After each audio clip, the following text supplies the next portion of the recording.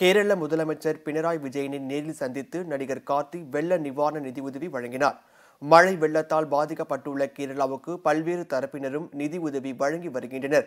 அந்த வகையில் திருவனந்தபுரத்தில் உள்ள தலைமைச் செயலகம் சென்ற நடிகர் கார்த்தி தன் சார்பாகவும் தமது சகோதரர் நடிகருமான சூர்யாவின் சார்பிலும் வெள்ள நிவாரண நிதியாக இருபத்தி ஐந்து லட்சம் ரூபாய்க்கான காசோலியை அம்மாநில முதலமைச்சர் பினராயி விஜயனிடம் வழங்கினார்.